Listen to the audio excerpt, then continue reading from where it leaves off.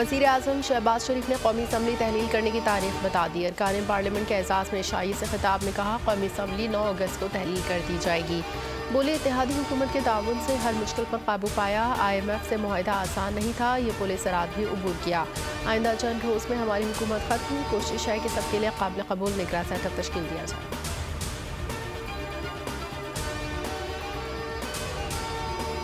निगरा वजी अजम के तकरूरी कमीशन सियासी रबतों में तेज़ी।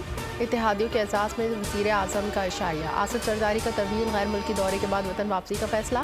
आज वतन वापस पहुँचेंगे। सियासी सरगर्मियों का आगाज़ करेंगे। वजी अजम शहबाज शरीफ, मौलाना फजल रहमान से मुशावरत करेंगे।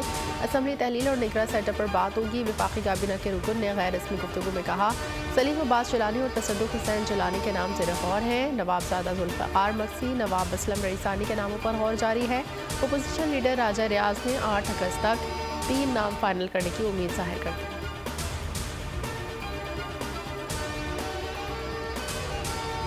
आम इंतबात में दाखिल की कोई गुंजाइश नहीं। इंतबात को अल्तवा में डाला गया तो फिर कब होंगे, कुछ नहीं कहा जा सकता। विफाकी वज़ीर खुर्शीद शाह कहते हैं, जिस मरदमशुमारी पर तहवजात हैं, उस पर इलेक्शन नहीं होंगे। मरदमशुमारी मंजूर हुई तो इससे हल्का बंदियाँ करना का पाबंद होगा।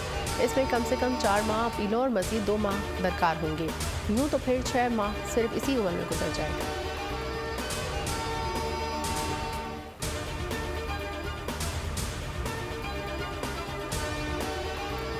सिंध में निगरा सेटअप के लिए मुशावरत का आगाज़ आज से मुतव वजी अला सिंध मुराद अली शाह, सीनियर वजरा आसफ सरदारी और बिलावल भुट्टो को राय देंगे। मुख्तलिफ़ नाम पार्टी क़्यादत के सामने रखे जाएँगे। निगरा वजी अला सिंध के लिए सूबाई हुकूमत ने मुतद नामों पर गौर किया।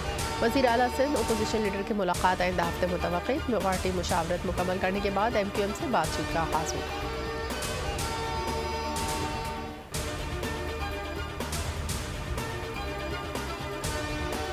चेयरमैन पी टी आई की एक बार फिर तलबी नैब और पुलिस ने मुख्तलिफ़ मुकदमात में तलब कर लिया। एक सौ नब्बे मिलियन पाउंड की गैर कानूनी मुंतकली केस में नैब ने आज तलब कर लिया।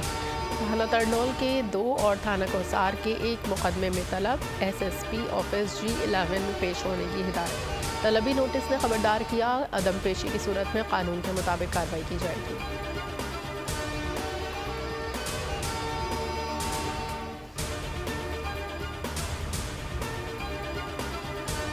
तोशाखाना फौजदारी केस फैसला कुन मरहले में इस्लामाबाद हाई कोर्ट में चेयरमैन पी टी आई की दरखास्तों पर महफूज फैसला आज सुनाया जाएगा। अदालत ने फरीकैन के दलाल के बाद आठ दरखास्तों पर फैसला महफूज किया।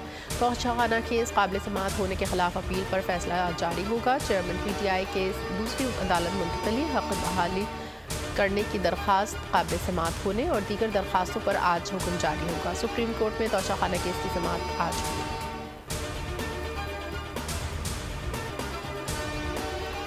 साना नौ मई में मुलविस किरदारों के खिलाफ कार्रवाई, ट्विटर पर नौ मई के वाकत को बढ़ा, चढ़ाकर शेयर करने वाले अफराद के खिलाफ एफ़ आई आर दर्ज।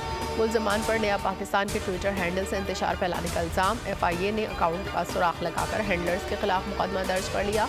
चार मुलजमान नया पाकिस्तान का वेरीफाइड अकाउंट चलाकर इंतज़ार फैला रहे थे एफ़ आई आर का मतलब। ट्विटर ने भी अकाउंट हैंडलर्स के ट्वीट की तस्दीक की। एफ़ आई ए ने मजीद तहकीकत का आगाज़ कर दिया।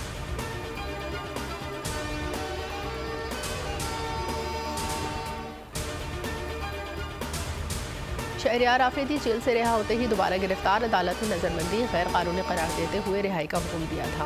शहरियार आफरीदी के भावलपुर में गंदम चोरी मुकदमे में भी हिफाजती जमानत मंजूर की थी। लाहौर की अदालत ने मियाँ महमूद रशीद, एजाज चौधरी के जुडिशल रिमांड में सत्रह अगस्त तक तोसी कर दी। लाहौर हाईकोर्ट ने खदीजा शाह आलिया हमजा समेत एक सौ चालीस मुलजमान की जमानत की दरख्वास्त पर समात बेंच के अदम दस्याबी के बायस न हो सकी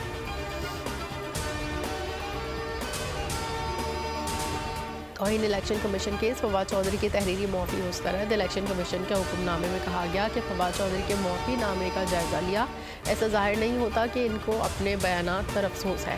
फवाद चौधरी के बयान संगीन हैं, लफ्सी मुआफ़ी काफ़ी नहीं। मौफी नामे में शराइ की भी गुंजाइश नहीं दी जा सकती क्योंकि मुआफ़ीनामा गैर मशरूत होता है। कार्रवाई आगे बढ़ाई जाएगी। फवाद चौधरी पंद्रह अगस्त तक नोटिस का जवाब जमा कराएँगे।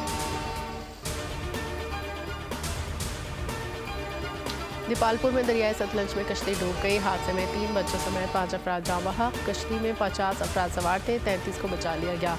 डिप्टी कमिश्नर का कहना है, रेस्क्यू किए गए तमाम अफराद की हालत खतरे से बाहर है। कश्ती में सवार आठ अफराद का ताल्लुक ज़िला उकाड़ा, दीगर का ताल्लुक ज़िला बहावल नगर से है।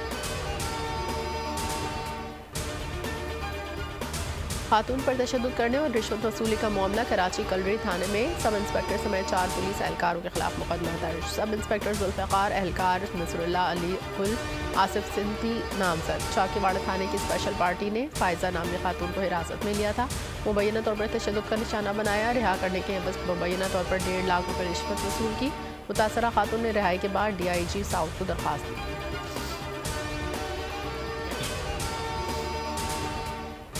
सदारती इलेक्शन पर असरअंदाज होने का केस सबक अमरीकी सदर डोनाल्ड ट्रंप वाशिंगटन डीसी की अदालत में पेश। इल्ज़ाम यकसर मुस्तरद करते हुए खुद को बेकसूर करार। अगर आपको ये वीडियो पसंद आई है तो हमारे चैनल को सब्सक्राइब कीजिए और बेल आइकन पर क्लिक कीजिए। Digital loan scam. आवाम को कर्जों के जाल में फंसाकर लूटने वाले भेड़िए बेनकाब। बोल की काविशें बाराबर साबित हो गईं। ऑनलाइन कर्ज माफिया के गिर घेरा तंग हो गया है। बोल ने दिया अपने आवाम का साथ उठाई इस स्कैम के खिलाफ आवाज़। बोल की डिजिटल लोन स्कैम के खिलाफ आगाही मुहिम की सबसे बड़ी ट्रांसमिशन। उनसठ फ़ीसद आवाम ने देखी अपनी स्क्रीन पर। क्योंकि बोल है पाकिस्तान का number one news channel. Subscribe करें और बेल दबाएँ ताकि कोई खबर रह न जाए।